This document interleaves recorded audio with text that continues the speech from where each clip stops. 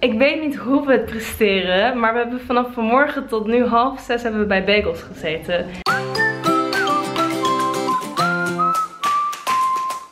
Hey, good morning guys. Het is zaterdag en Mert stond op met het heugelijke idee om naar Bagels Beans te gaan. Dus daar gaan we nu naartoe. Gaan we even lekker werken. Het is zaterdag, we gaan toch werken. Dat is hoe ons hoofd in elkaar zit, blijkbaar. Maar ik wil vandaag ook nog wel een beetje opruimen hier. Misschien het kantoor netjes maken. Ja, dat is mijn goal voor de rest van vandaag. Wat is jouw goal vandaag? Ik heb heel veel scha... Scha...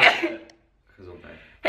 Oh, dat is pijn door mijn hele lichaam. Ik heb heel veel schrijf- en productiewerk, dus dat zijn de goals voor vandaag. Oké, dus uh, spullen pakken en op naar B&B.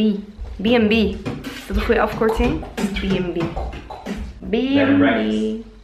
B&B. De outfit van vandaag. Joi. En de tas van vandaag. My yogurt brings all the boys to the barn.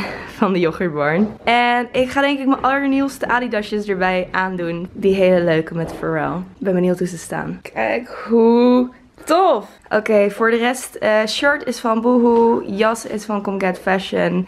Tas is dus van yoghurtbarn. Broek is van... Weet ik niet. Waar is die eigenlijk van? Boohoo denk ik. En dus de schoenen. Adidas. Love it. Oh, zo tof. Als je een keer bij Bagels gaat eten, neem dan dit. Het is heel erg lekker. Tenminste als je zin hebt in een soort van ontbijtje. Dit heet de Killer Cereal. Dit is aardbeiensap. En er zit er banaan in. Er zit hier yoghurt en er zit hier speldmuesli. En het is echt super lekker. En ik heb natuurlijk een grote cappuccino. Die in Bagels Beans termen ook echt mega groot is. Hoe kan ik dat doen? Dit is mijn hand. En dit is de kop. Mega. Ook deze moet je zeker een keertje proberen. Ja. En ik heb de Toscaanse bagel. Dat is een van mijn favorieten.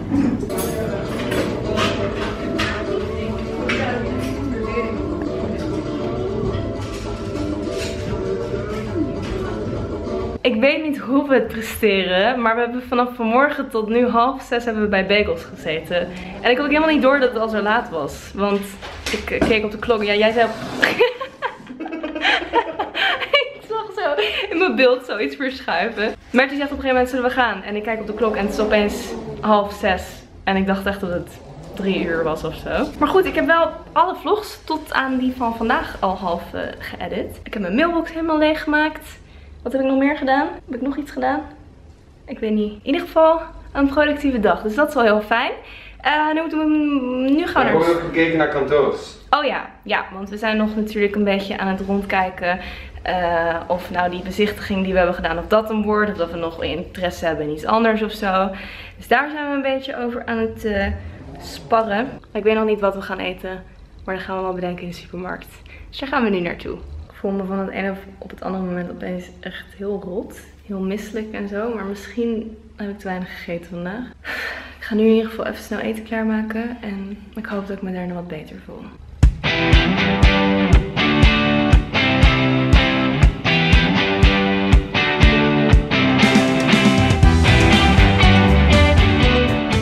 Oké, dus ik zei, een paar dagen geleden zei ik dat de Game of Thrones aflevering heftig was. Alsof het nog niet heftiger kon worden. Ik werd echt misselijk van deze aflevering. En niet omdat het heel gruwelijk was of zo. Maar gewoon de spanning die ze opbouwen. En het is heel naar allemaal. Uh, als je nu komt binnenvallen en mijn eerdere warning niet hebt uh, gehoord. Het is wel een beetje een serie die niet, uh, denk ik, voor alle leeftijden geschikt is. Er zit veel bloed in, veel geweld, veel narigheid. Dus weet dat eventjes voordat je denkt, ik wil ook Game of Thrones kijken. Dat je dat even weet. Mijn disclaimer. Ik ben niet schuldige als jullie gechoqueerd worden. Ik zit dus al de hele avond met deze steen. Deze kreeg ik gisteren van mijn moeder. En dit is een duimsteen. Dat noemen ze zo omdat ik zo mijn duim erop kan leggen.